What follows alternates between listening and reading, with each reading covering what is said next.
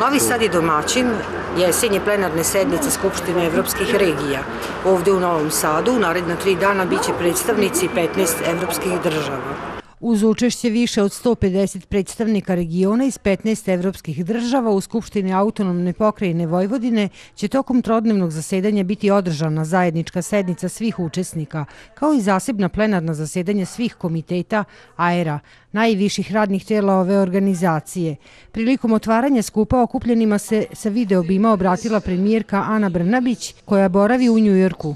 Mi ćemo se truditi sa svoje strane da pokažemo svoje pravo lice, svoje najlepše lice i potpuno sam siguran da će ovo jesenje zasedanje biti uspešno. Želim još jednom da se zahvalim eh, na mogućnosti da budemo organizatori ovog velikog događaja.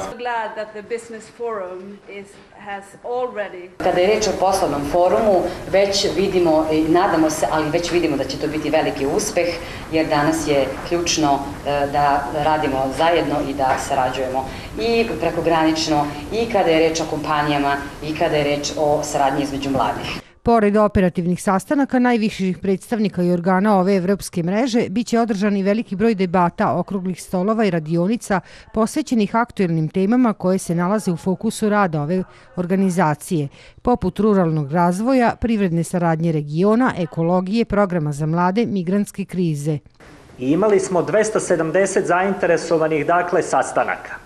Ostvarano je tačno 69 B2B meeting koji će biti održani u toku sutrašnjeg dana. Danas su na redu regioni koji treba da se predstave, a naravno mi kao domaćini imamo svu mogućnost da se u najboljem svetlu upravo i naša razvojna agencija i prirodna komora predstave i s obzirom da smo domaćini prvi put da sve potencijale Vojvodine prikažemo velikom broju zaista predstavnika i kompanija koji će biti u ova dva dana ovde u, u Novom Sadu.